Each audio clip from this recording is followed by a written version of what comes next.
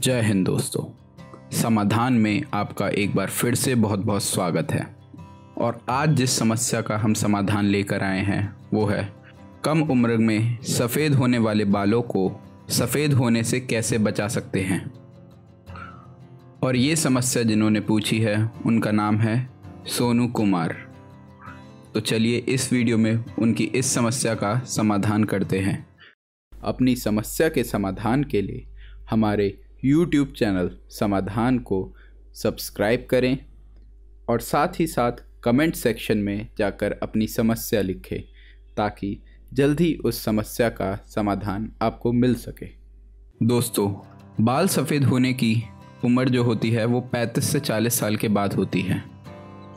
लेकिन आजकल देखा जा रहा है कि कई लोगों की 18 से 20 साल के बाद या फिर इससे पहले ही बाल सफ़ेद होने शुरू हो जाते हैं।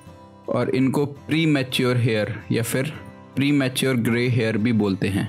तो दोस्तों, ऐसा होता क्यों है? क्या आपके बाल कमज़ोर हैं, कुछ वीक हैं, या फिर आपने कभी देखा होगा कि आपके बाल सफ़ेद ज़रूर हो रहे हैं, लेकिन उनकी ग्रोथ भी उसी तरीके से हो रही है जैसे आपके बाकी के बाल बढ़ रहे हैं।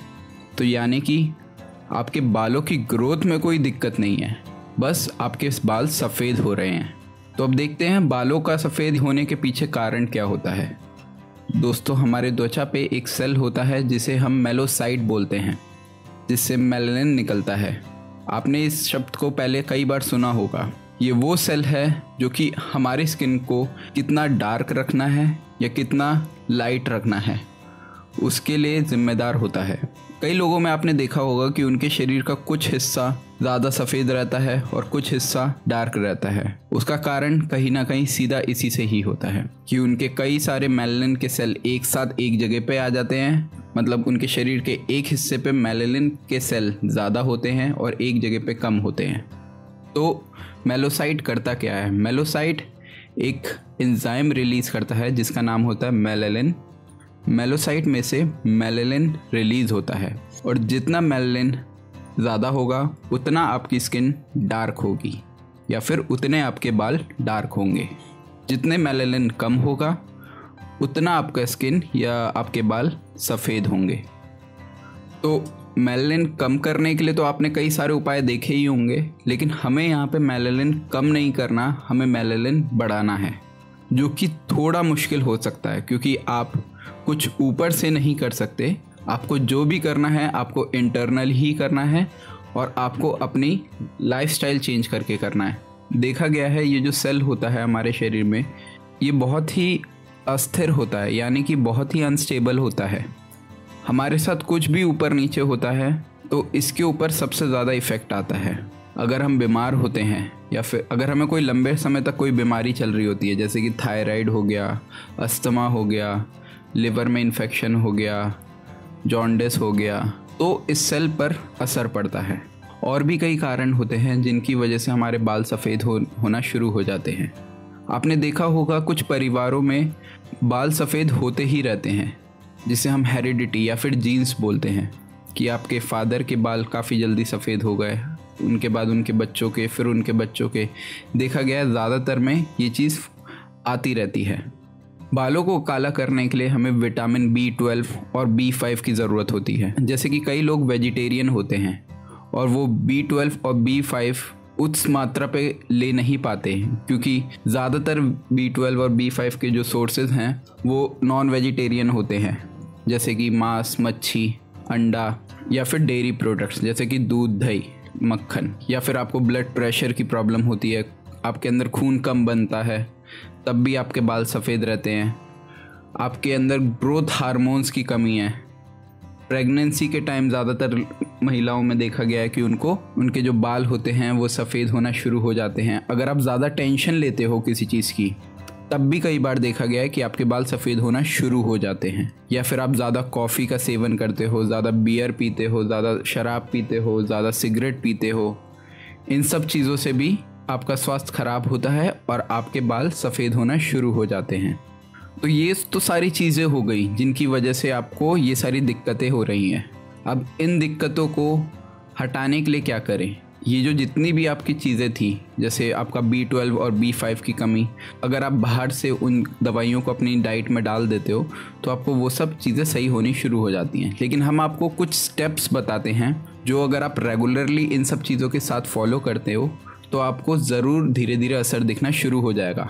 हाँ बालों को वापस काला करना एक बहुत ही मुश्किल काम है, जिसके अंदर काफ़ी लंबा टाइम लग सकता है। लेकिन लेकिन हम बाकी के बालों को सफ़ेद होने से ज़रूर रोक सकते हैं। तो अब आपको क्या क्या करना है? आपको अपने सर को साफ़ रखना है, यानी कि आपको शैम्पू करना है। अगर आपके बाल छोटे हैं, आप एक लड़के हैं तो आप रोज़ाना शैम्पू करें। आप एक नेचुरल शैम्पू यूज़ करें। अगर आपके बाल लंबे हैं तो आप दो दिन में एक बार शैम्पू करें। मार्केट में बहुत ही सारे केमिकल शैम्पू अवेलेबल हैं। ज़्यादातर कोई भी नेचुरल नहीं है तो इसी वजह से हम आपके लिए एक नेचुरल शैम्पू की वीडियो भी ला चुके हैं, जो कि आपको नीचे डिस्क्रिप्शन बॉक्स में मिल जाएगा और पहले कमेंट में भी मिल जाएगा।